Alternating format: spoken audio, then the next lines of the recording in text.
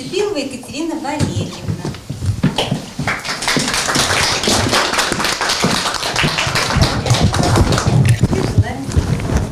Екатерине Цепиловой в скором времени предстоят приятные хлопоты. На полученные деньги они с мужем планируют купить квартиру большей площади, чем та, в которой живут сейчас. Скорее всего, на расширение жилья. Будем расширяться, что у нас двое сыновей, э, уже охотаем свое пространство по своей комнате. Думаем как бы на жилье. Так вроде пока.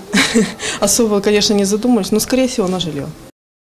Программа по поддержке молодых семей в России начала действовать с 2007 года. Денежный сертификат выдается матерям, родившим двух и более детей. Деньги можно потратить на улучшение жилищных условий, детское образование или направить на будущую пенсию мамы. И несмотря на то, что использовать мат-капитал можно только на эти цели и по безналу, некоторые, вопреки закону, пытаются обналичить сумму. Случаи мошенничества в этой сфере происходят часто. Нередко встречается объявление о помощи в обналичивании материнского капитала. Значит, на практике что происходит? Могут заключаться договоры займа целевого на приобретение вообще несуществующих домов, либо э, жилья непригодного для проживания. Это дома ветхие, с большим процентом износа. То есть все это, конечно же, является незаконным. С 2011 года, помимо федерального бюджета, помощь семьям оказывает и Свердловская область. За рождение третьего ребенка выдается сертификат на 100 тысяч рублей. Тут список целей, на которые можно потратить деньги, немного шире. В Свердловской области расширенный список пользования материнским капиталом, кроме строительства, реконструкции жилых объектов, средства материнского капитала можно потратить на оплату медицинских услуг, на оплату образовательных услуг, на приобретение садов, э, дач и земельных участков под садовое дачное строительство.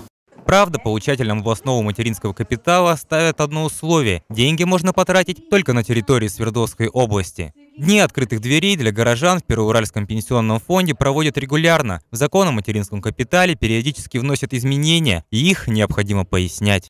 Такое информационное мероприятие действительно мы уже проводим, ну, даже не то что ежегодно, а, наверное, раза два в год, потому что изменений именно в материнском капитале достаточно много. Они идут, в общем-то, достаточно регулярно, поэтому мы стараемся информировать наших слушателей обо всех изменениях и напомнить какие-то э, уже устоявшиеся нормы федерального закона.